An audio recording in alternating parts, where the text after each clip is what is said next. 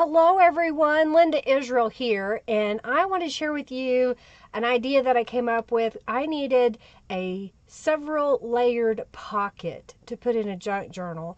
I wanted at least five slots, and I'm actually going to get six.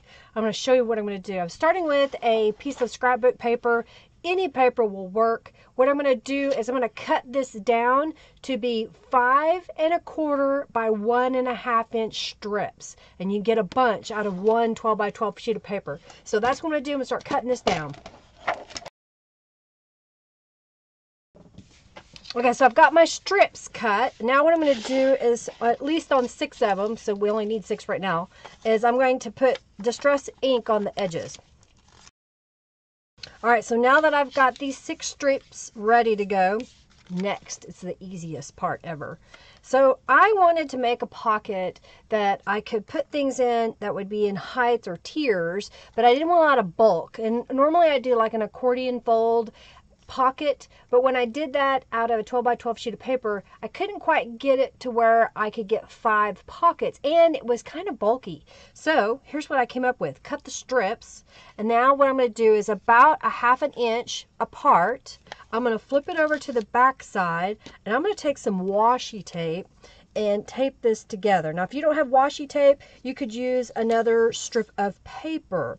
I didn't want to glue on the bottom because that would limit how deep my pocket was. So right now we've got this right here. So this is going to be the front, that's going to be a pocket, and now we're going to just keep doing the same thing. Line it up about half an inch, turn it over, tape it down. I'm going to keep doing that until I have all of the pieces taped together. All right, so I've gone on head and I've attached all of those pieces. So now what I'm going to do is glue these together. So I'm just going to take a little bit of Aleene's Tacky Glue and put it right here on each edge. And then fold this up and do the next one. And then I will press this down. I'll use my finger and press along those edges. You can use your bone folder to really smooth that out. If there's any excess glue, just go ahead and wipe that away.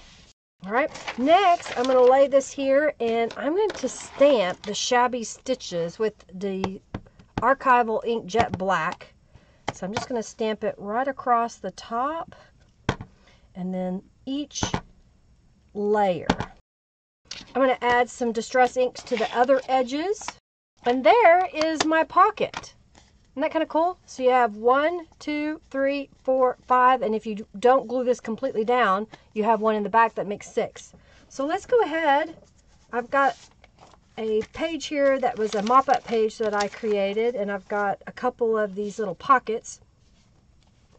So let's go ahead and glue one of these pockets down right here.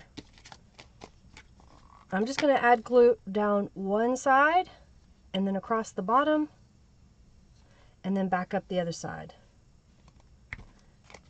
And because I made them five and a quarter and I'm using a eight and a half by 11 sheet of paper folded in half, I can center it up like so. Kind of cool, huh? And I'm gonna go ahead and put one on the other side as well.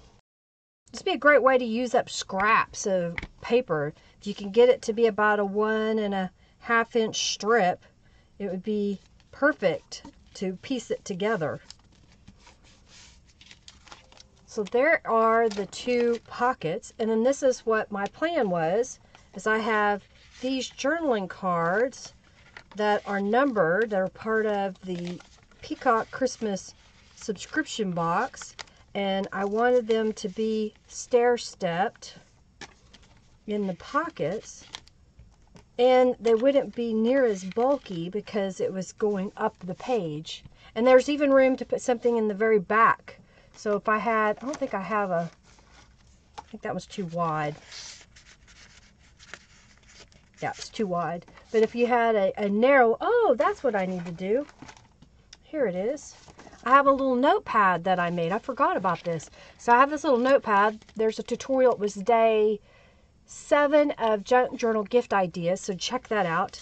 And that can fit right here in the back. And so you have all of those journaling spaces right there.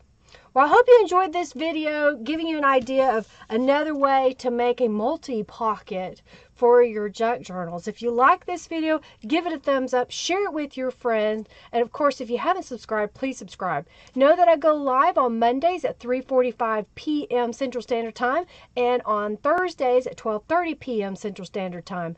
On Mondays, we work on junk journals. On Thursdays, we do mixed media.